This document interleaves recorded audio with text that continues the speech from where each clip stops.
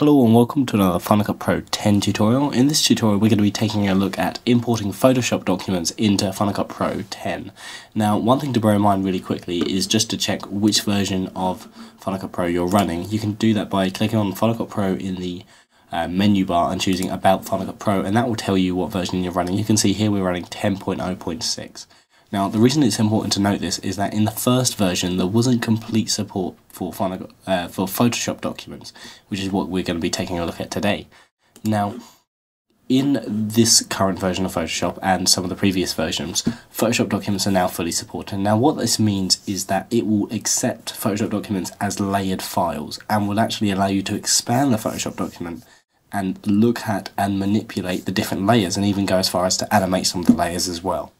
So if we just go ahead and import a Photoshop document, we're going to go into Finder here, and we've got a, a, um, a Photoshop document that we're going to put into this Resident Evil project.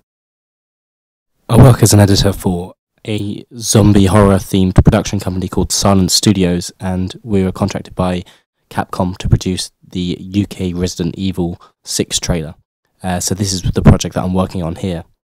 And we're just going to go ahead and drag this into the timeline. this will also add it into the uh, event manager. You can see that in here we've got our document and it's also got a standard duration. You can change the duration of how of the images if you go into preferences.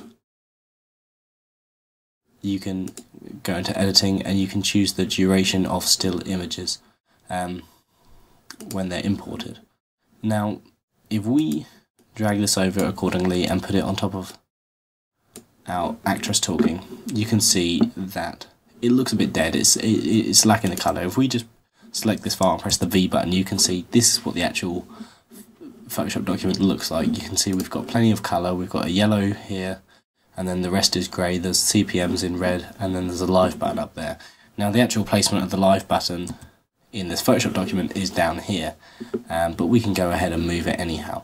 Uh, but the bottom line is you can see the breaking news is now a grey colour, and that is because the colour was created using layer styles. If we hop over to Photoshop, you can see this is the original document. You can see that if we take a look at some of these effects, all these different layers, a lot of them are created by the layer styles.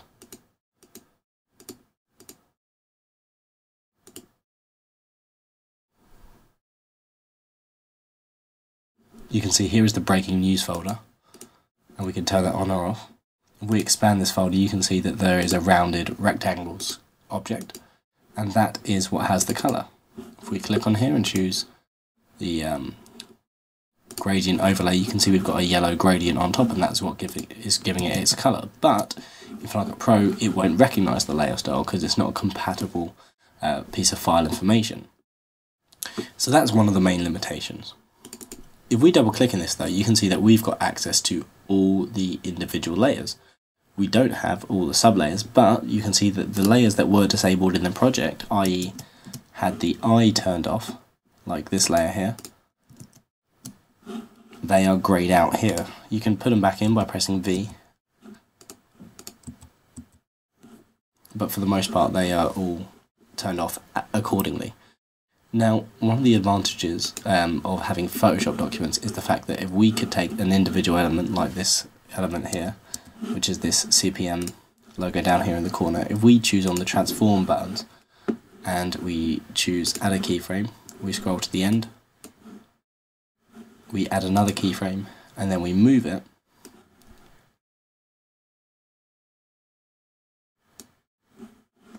and then press done if we then go back to our main project, you can see that we've got an animation created. We couldn't have done this if we just used a PNG unless we were to cut up the image individually, but you don't get the same level of control because you can only cut up images in squares and rectangles um, using the crop tools. So as you can see, there are advantages to be gained from using Photoshop documents, but beware of the limitations. The way to get around this is to bake in the effects. If we were to right click on our rounded rectangle tool and choose rasterize layer and rasterize layer style. That has turned it into a solid object in which the colour is baked into that image. If we save this,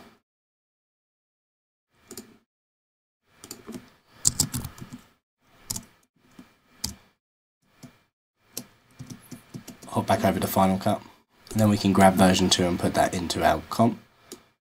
And you can see now we've got our colour back. And then we can still add in the effects, and we've also beared in mind the limitations of the Final Cut Pro 10 system. Remember to check out Silent Studios, who I work for as an editor. Uh, you can check out the link in the description, which will take you to their website. And remember to also subscribe to their YouTube channel, where you can see awesome content like this. So hopefully this tutorial was useful. Um, now you can start using Photoshop documents to add um, more depth to your images uh, that you're going to be manipulating inside of Final Cut Pro 10 um, whilst also bearing in mind the drawbacks. So hopefully this was useful and I'll see you guys soon in a brand new tutorial. Also remember to subscribe and also request tutorials in the dialog box below. Also want to apologise for such a long delay between this video and previous videos. I've been incredibly busy um, being involved in work such as this so hopefully tutorials will be back up and running very smoothly and you'll be pleased to know that I've already got some motion tutorials in production.